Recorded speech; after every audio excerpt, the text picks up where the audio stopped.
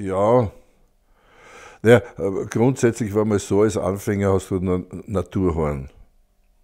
Lange nur einmal C1, G1.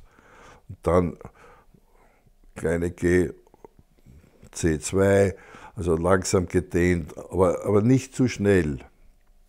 Denn die, das ist da, dann äh, passiert oft der Fehler, was ich dann auch später festgestellt habe, dass manche Studenten äh, dann äh, unnatürlich ansetzen, damit sie schneller raufkommen. Und dann geht es in der Tiefe nicht mehr, weil sie nicht mehr aufmachen können. Nicht? Und ich habe eigentlich äh, am Anfang äh, wirklich gute Tiefe gehabt. Hinauf zu ist, war es schon sehr anstrengend. Das hat sich erst im Laufe der Jahre dann äh, entwickelt, wobei auch mir dann ein Mundstückwechsel geholfen hat, wo ich ein bisschen einen seichteren Kessel gehabt habe, äh, mir machen habe lassen und, und plötzlich ich, war die Höhe leichter.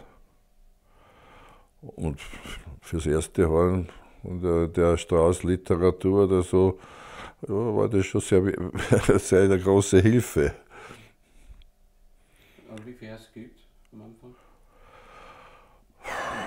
Ah, sicherlich nicht sehr viel.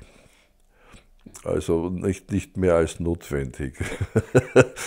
also in, ja, am Anfang weiß, weiß ich, äh, am Anfang kannst du ja nicht lange üben. Du musst, du musst schauen, dass du das auf zwei, dreimal pro Tag aufteilst, weil sonst ist das, das ist ja gleich kaputt, wenn du zu, zu, zu, zu viel auf einmal übst, nicht?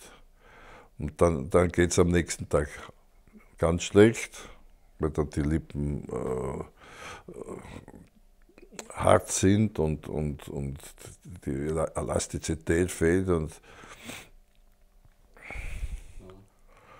und dann im, im fortgeschrittenen äh, Stadium dieser Lernzeit habe ich auch nur das Notwendigste geübt. Am liebsten habe ich während der Zeit irgendwo mit Studenten der Kammermusik gespielt oder in einem Amateurorchester. Und ich wollte viel blasen, aber nur nicht Etüden spielen. Ja, es ist, es ist natürlich notwendig, aber äh, es, die Etüden sind, es, es ist nicht befriedigend, es ist kein Erfolgserlebnis da.